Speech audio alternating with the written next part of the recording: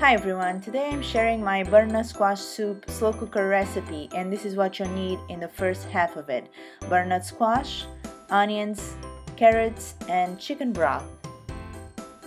You can find the entire recipe in the description box below. First, start by adding everything to the slow cooker pan.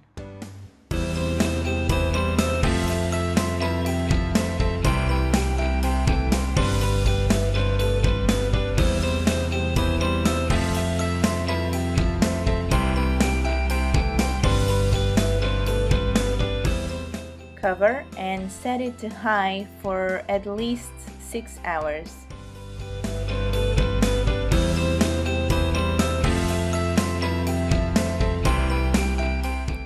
Blend the soup until it's uh, creamy and you may need to add a bit of water to adjust the thickness.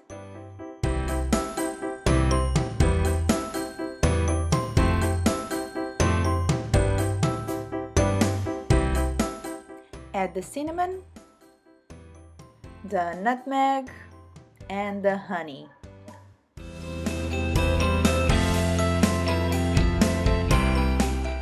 Season with salt and pepper. I prefer black pepper, but you can add your favorite one. Combine everything and it's done.